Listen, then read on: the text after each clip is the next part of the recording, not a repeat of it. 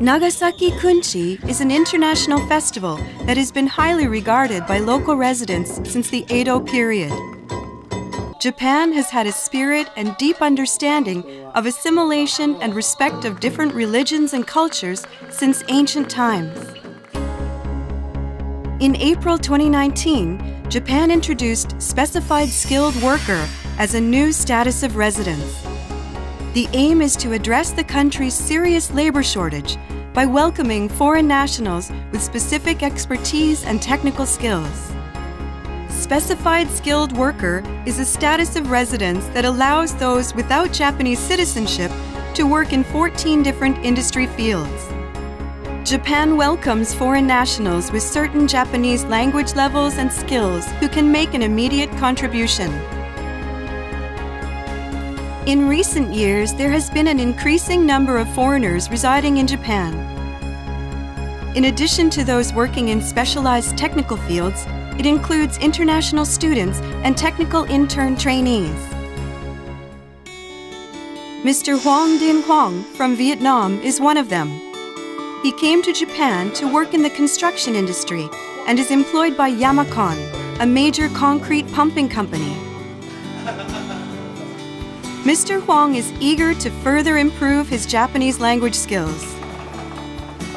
During breaks, he studies reading and writing kanji characters.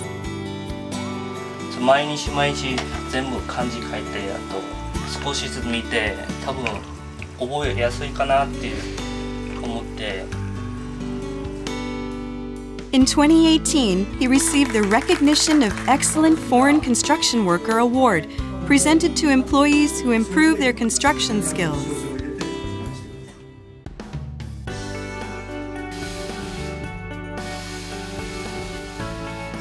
Mr. Garamu Jadu Constant from Cameroon who works at Sakai Casting, which casts aluminum.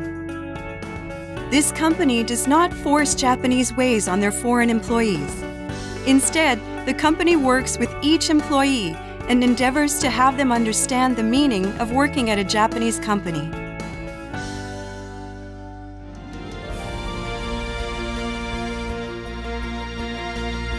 Japan is aiming to become a country where foreign nationals would like to live and work.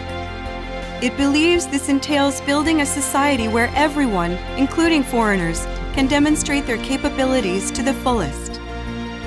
Specified skilled workers will be guaranteed equal or better treatment compared to Japanese workers engaging in the same work.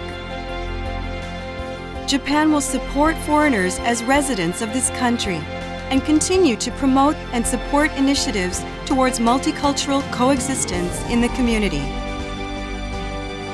We look forward to welcoming people with a strong desire to work in Japan.